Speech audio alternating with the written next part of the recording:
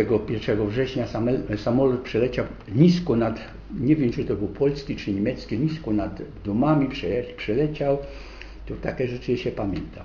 I tam, co mówimy, rekrutów ćwiczyli dzień przed tym, a później na razie już byli Niemcy. I nawet by nic się nie zmieniła, pogoda była wyśmienita, pamiętam. I parę dni później pierwszy raz widziałem niemieckiego wojskowego.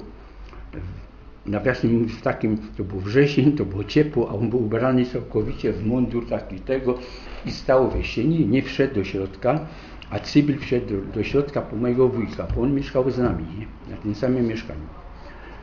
A wujek, on, one go zaraz zebrali, bo on należał do młodzieżowej organizacji, nie? I Młoda Polska bodajże się to nazywało. To, co się zapamiętałem, że ten strach w naszym domu, jak tego wujka jeszcze aresztowali, to już nie było wiadomo, co dalej będzie. Babcia chora, już tak ledwo, ledwo. E, ojciec o niczym cały wystraszony, bo on był też w wieku poborowym, nie wiadomo, co będzie. A my małe dzieci, trójka dzieci, ja i ze, ze siostrami młodszymi. I nasza rodzina była narażona szczególnie na obserwację, to ta matka przeszyła z polskiej flagi, zrobiła niemiecką. Nie?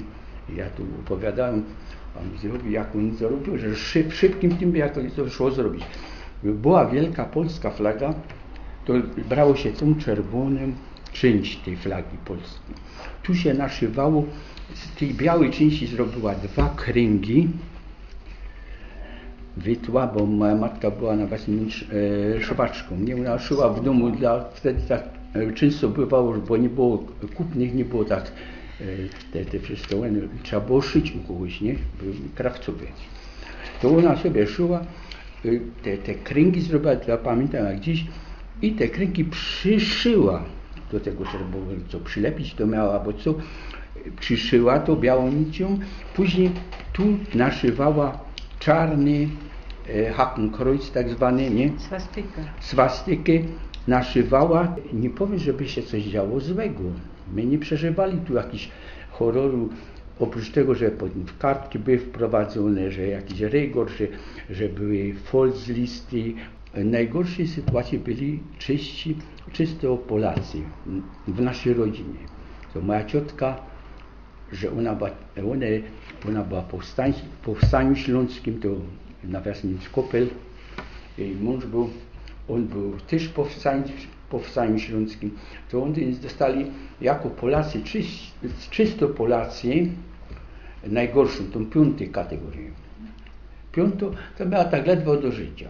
Później była czwarta pozycja, to była taki Ślązak, e, jeszcze za Polokami, co się opowiadał. Później była kategoria Ci, w którym moja matka i ojciec ich zaszeregowali, to była taka, że nic niby są jeszcze, byli Polacami, Polakami, ale może my ich przerobimy na Niemców, że jest nadzieja, nie? Później była pozycja druga, to byli Ślązacy, ale e, którzy sympatyzowali już przez lata z Niemcami. Dawali swoje nazwy. Mój ojciec miał niemieckie nazwisko i dali mu dwójkę. Cała rodzina dostała dwójkę, a oni byli Ślązakami. W ogóle ze Hiszpanii przyszli. A pamiętacie ta historia z Fary? No coś tam gadał. Coś było. Myśmy siedzieli na zimie, pamiętam, w ty, na tej plebanii tam, na tej wielkiej sali. Raz tam wszystko były. I w tej plebanii e, ten ksiądz powiedział, no, kochane dzieci po niemiecku, nie, bo nie będę się teraz łamał niemiecczyzną, bo to nie. W każdym razie, kochane dzieci, powiedzcie, jak ja przyjdę, nie, do waszego domu, nie, to co wy powiecie, jak kapłan wchodzi, co wy powiecie e, wtedy mi? A moja siostra, Marysia, była dwa lata ode mnie i no rwie się, że ona chce mówić. No to powiedz dzieciom, powiedz dziewczynko. Powiem, Hej Hitler! No, Wszyscy nawet nie mieli odwagi, tak jak teraz się uśmiać z tego. Nawet te dzieci wiedziały, że to nie jest śmieszne, a tym, tym bardziej ten ksiądz, nie? Ten ksiądz powiedział, no ja, to tyż, das auch. Aber da gelobt sei Jesus Chrystus, nie? Musisz powiedzieć, niech będzie pochwalony Jezus Chrystus. I on poprawił. No to można powiedzieć, w jakim oni strachu byli. One normalnie dzisiaj by mu to nie uszło na sucho, ale wtedy ona tak powiedziała, Hitler, bo tak nas uczyli we przedszkolu. Kiedyś było to przedszkole. Tam było przedszkole na, na teren Nawet centrum takie Świętowowic. zdjęcie, Nie? co jeszcze, zdjęcie Hitlera wisi tam. No a no, Nie? Hitler no, musiał wisieć. No, w każdym no nie, no, pomieszczeniu okresie to publicznym to Hitler musiał wisieć, a tam szczególnie jak to było przedszkole, żeby to było związane z dziećmi, to było takie zdjęcie, y, co trzymie ta na kolanach dziewczynka tak o niej przytrzymuje, nie? żeby to nawiązywało do tego, że to przedszkole, że to, to bo to jest taka dzisiaj, dzisiaj tak ta młodzież krzyczy i tamtego, tamtego raus, Żydów raus, albo co to, to, to są stare historie. To się ciągło, bo zawsze się szuka, kto daje winy, że jest źle. Dzisiaj też szukamy. Kto, jest, to, kto to zawalił ta sprawa? My wszyscy zawalimy. Koło y, marca, października 40 roku to już przyszło oświadczenie, że wszelkie długi zaciągnięte u Żyda, jakiegoś tam Goldmana czy jakiś inny, zostały przez Rzeszę Niemiecką anulowane. No to społeczeństwo dechło, bo taki jak ojciec to było sam tysiące może Świętowicach. Aha, to spokojnie. I wtedy normalnie kupuje się ludzi, nie? Ale, Co by teraz było, jakby tak przyszedł ktoś i powiedział, wszystkie kredyty są umorzone. no ale oni mu długów tam. No my nie, ale kto No. są tacy? Tu była szkoła numer jeden, do której chodził pan Maciążek. On powiedział w pewnym momencie ten nauczyciel, e, ty nie możesz sam do naszej szkoły należeć, ty należysz do szkoły pierwszej, tam gdzie ogólniak był na łonie. I ty tam musisz iść, ale że ja miałem, ile to by przecież do pierwszej klasy, nie? No, y, to przecież musiał ktoś ze mną iść i może ze piątej albo z szóstej klasy takiego starszego wziął i powiedział, ty pójdziesz go odprowadzić do tej szkoły, do szkoły pierwszej. Na korytarzu była przerwa. Wszyscy grzecznie chodzili, to nie było to, co dzisiaj. Jest wszystko dyscyplina, tego nie można było zarzucić, wystraszone wszystko. Grzecznie tam i z powrotem chodzili, a my tym środkiem idziemy i wychodzi z- tego gabinetu, tam wychodzi, nie wiedziałem kto, no w mundurze SA, nie? się okazało, że to jest ten dyrektor, on go albo poznał, albo zaraz się domyślał. On wychodził naprzeciwko nam i że powiedział, e, po niemiecku oczywiście ten chłopak powiedział, a tu przyniosłem tego e, ze pierwszej klasy, bo ma do tej szkoły tu należeć, a nie do naszej. Tam. I w tym momencie dostał wpysk, tak, nie? że ja tu stałem, a on był wyższy ode mnie, no to ta ręka nade mną no, poleciała i dostał normalny boks. Dostał i on, jak on go uderzył, to on po tej podłodze się ślizgał, to pamiętam do dzisiaj. Się okazało, że on zapomniał miał powiedzieć Heil Hitler. Zasad. No Heil Hitler! nie Ja powiedział dobre, monetę. nie powiedział I no powiedział, nic nie powiedział, no no. powiedział tak, wiedział, no, że przyniosą ucznia. I o to poszło, nie? No. E, Pewne komunikaty niemieckie musiały być, e, jeżeli coś stracili, to musieli to podać. Po ciężkich bólach, ale podali. A z wyprzedzeniem podawała to radio BBC. Nie? Bum, bum, bum. Tam zawsze ten- ten sygnał był. A mój ojciec od, e, powiedzmy, od, e, jak e, anulowali mu te żydowskie długi, to ta, ta cała łona sympatia zaczynała do Hitlera później się zmniejszać, bo już nie było zagrożenia. I w pewnym powiedział prosto, on przegra. Powiedział ojciec mój, nie? On z Rosją nie wygra. Pomimo, że oni już byli tak daleko w Rosji, że historii się uczycie, to wiecie jak to było.